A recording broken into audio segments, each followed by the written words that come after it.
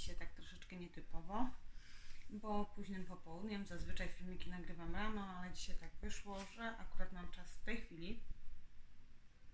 Laura usnęła, więc skorzystam z okazji, dlatego mówię troszkę ciszej. E, chciałam Wam przedstawić kolej, właściwie witam w kolejnym moim filmiku, w kolejnej e, e, części e, mojej serii o Wszystko o roślinach. To już jest odcinek siódmy.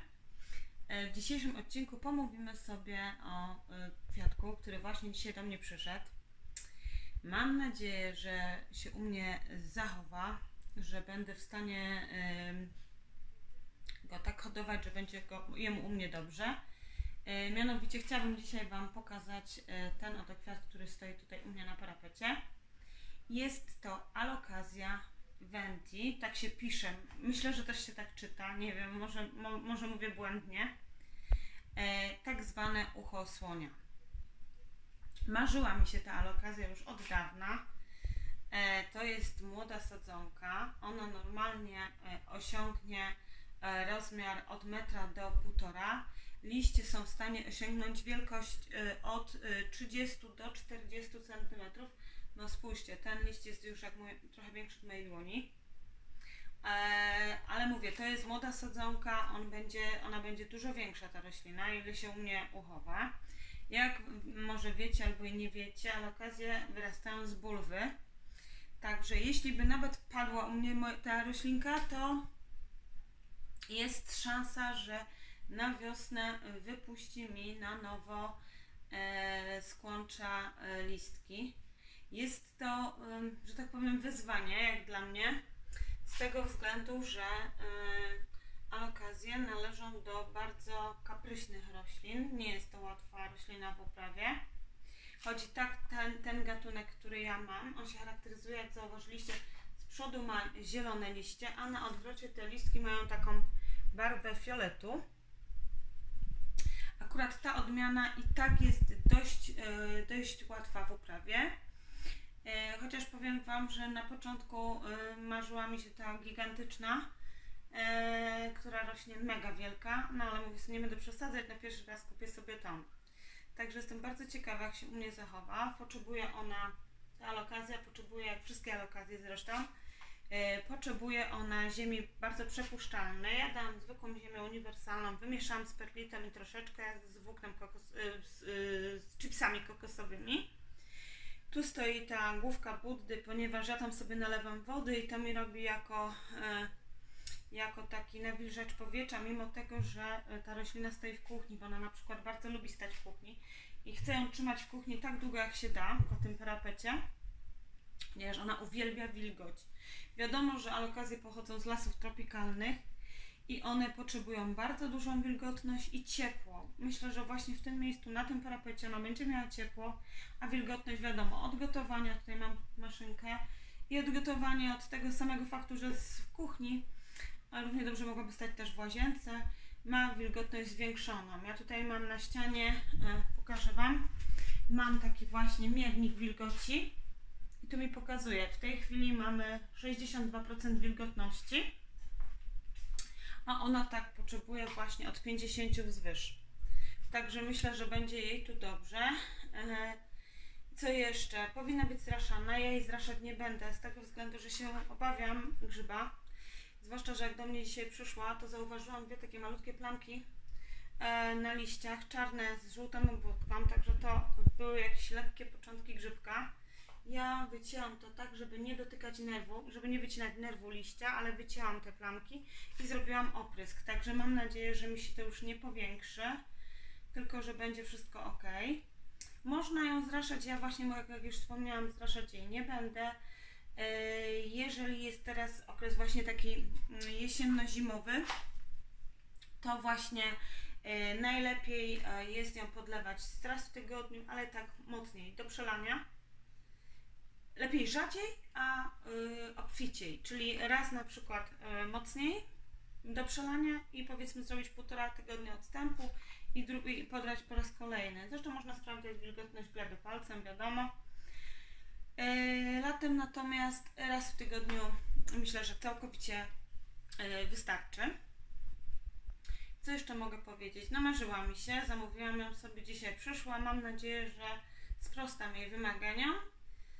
E, I zobaczymy. Marzy mi się, żeby urosła do takich kolosalnych rozmiarów, że mogłabym ją trzymać w salonie i naprawdę będzie wielka, bo ona rośnie naprawdę duża.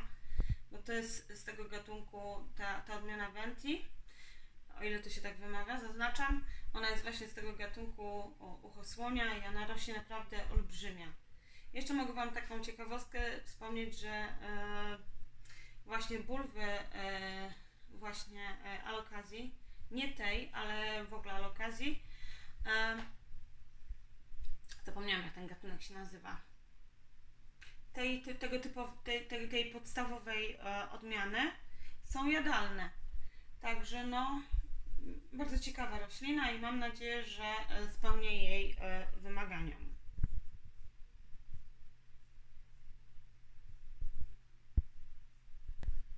Może jesteście ciekawi, co tam u moich monster. E, pokażę Wam, bo nastąpiły malutkie zmiany. W sensie e, ten liść u mojej monstery variegaty rozwinął się. To jest ten listek, który był e, jeszcze bodajże na ostatnim filmiku zupełnie złożony. Wypuszcza mi pięknie, o tutaj zauważcie, korzenie powietrzne. Obok stoi ta druga monstera, to są te dwie sadzonki, o których mówiłam w poprzednich odcinkach, razem wsadzone. Też proszę zobaczcie, tu koło, może wyjmę, żeby było lepiej widać, tu koło tego zniekształconego małego listka wychodzi mi kolejny i z boczku tutaj na dole wychodzi mi y, y, nowy y, korzeń powietrzny, także myślę, że mają się dobrze. Co zauważyłam? Wbrew temu, co się mówi o monsterach, one obydwie uwielbiają stać na słonecznym parapecie. To jest słoneczny parapet, znaczy naprawdę mam dużo słońca do południa i jak widać im to absolutnie nie przeszkadza, wręcz przeciwnie. Zauważyłam, że jak stoją na tym słońcu, może dlatego, że to nie jest słońce letnie i to słońce może nie jest aż tak bardzo e, mocne, no naprawdę zaczęło się dużo lepiej rozwijać. Kolejną e, roślinką, o której dzisiaj pomówimy jest ten oto maluch, którego tu widzicie. To jest sukulent, nazywa się grubosz, z rodziny gruboszy. To jest grubosz szablasty. E, nazwa jego wynika pewnie z tego, że jego e, tutaj te, że tak powiem, liście są ułożone tak naprzemiennie, wyglądają trochę jak szable. Mam go już jakiś czas, troszeczkę już mi tu podrósł. E, no taki mały słodziak.